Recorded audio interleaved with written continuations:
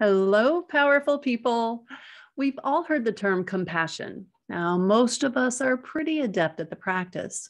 Compassion is essentially being concerned with the alleviation of suffering. Women have a natural capacity for being compassionate. We've been conditioned to show compassion to everyone and everything, everywhere we go. The only place we are lacking in compassion is with the woman in the mirror. Self compassion is simply compassion turned inward. Now, this facet of compassion is rarely, if ever, modeled for us, especially in the business realm. There is no room for any type of compassion in the patriarchal model of business. Now, in my humble opinion, I believe that both women and men lose in the patriarchal model. But that is a conversation for another day, and I am always up for a good patriarchy deconstruction convo.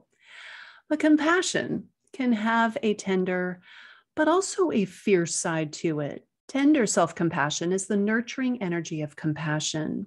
It is the ability for us to just be with ourselves and our pain, our difficulty, and our imperfections, just as we are.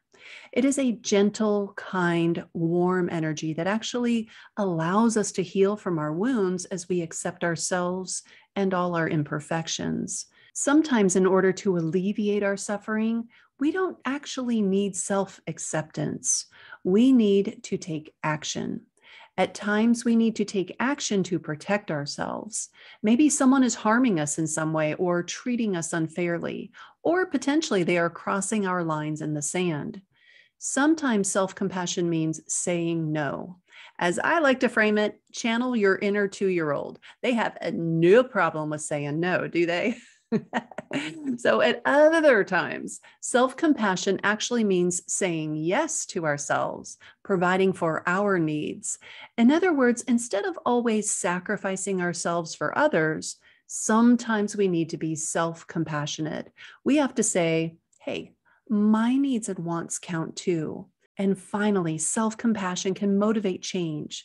So, if we're engaged in behaviors that are harmful or in situations that are harmful to ourselves or others, quite often the compassionate thing to do is to change the behavior, to do something about the situation.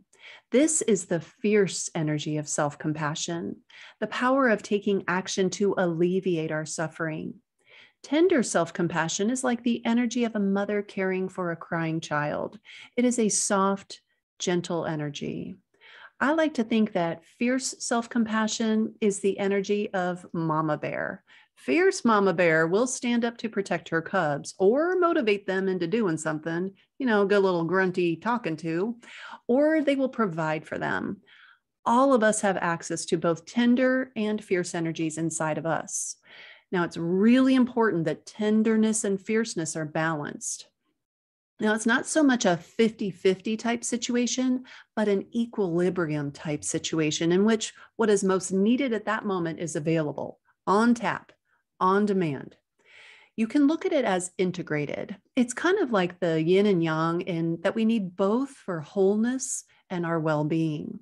And when they're combined, they create a type of caring force that allows us to succeed in the workplace, for instance, or to get our needs met at home, or even to make changes in the world, utilizing business as a force for good.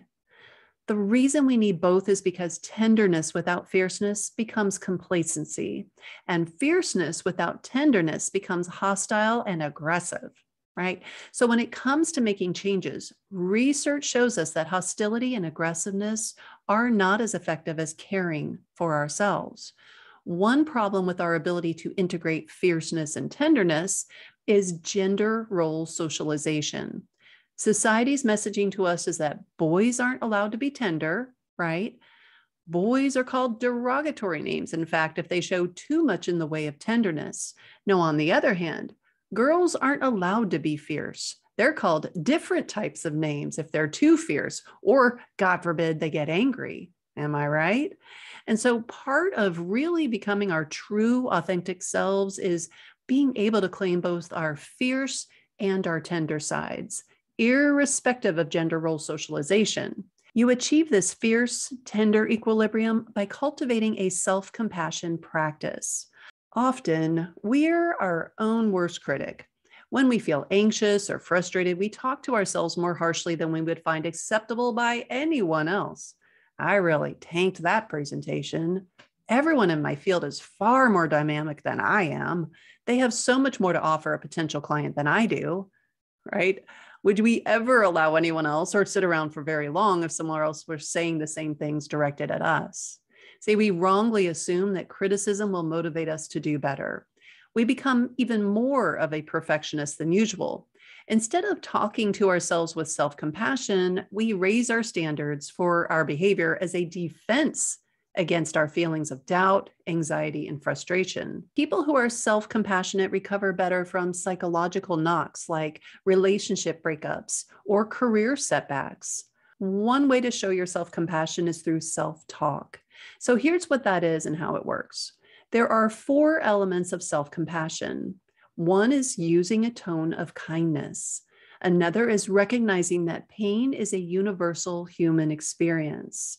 Another part to self compassion is taking a balanced approach to our negative emotions that neither suppresses or exaggerates them. And fourth, it's expecting yourself to make the best decision you can in the situation you're in. Compassionate self talk can be a gentle and supportive nudge, as in tender self compassion, or it can be along the lines of a more fierce end of the spectrum in which we call ourselves on, hmm, let's say, our procrastination. Hello, I'm Sam Graber, and I am a procrastinator. Procrastination is nothing more than a momentary stress relieving behavior. So dig into what's causing the stress and call it out. For example, I might need to sit my butt on my exercise ball, which is my desk chair, and I need to finish a weekly article, let's say. So in this scenario, I might say to myself, you don't want to start because you're anxious. That's understandable. You want to do a solid job. The best way to do a good job is to chip away at it. You don't have to work on all of it all day long. Work in time chunks. Aim for two sessions today. Let it percolate overnight and then final edit it in the morning. Now, say my work tends to expand into the time allowed, also known as sliding in right at the deadline. Anyone else feel me on that? Yeah. yeah. So sometimes self compassionate talk is reframing a trait or tendency like perfectionism. Use it to prevent psyching yourself out and letting perfect be the enemy of done. Perfectionists are less likely to be self compassionate. Takes one to know one but I'm working on it, right? So, self compassion can help you take a more balanced view of yourself and see when everything is, in fact, not great. Say your performance on a project, but everything is, in fact, not terrible. Your entire career is not a flop. See, a perfectionist might say to themselves, I have to get this right first try, or I'll never get another opportunity. That attitude can make starting at all feel too daunting. It's a lot resting on that. Someone who is self compassionate might say to themselves, Everyone has blind spots that result in first attempts being imperfect. I don't have to get everything right all on my own. I can use others' perspectives. That's how great work happens.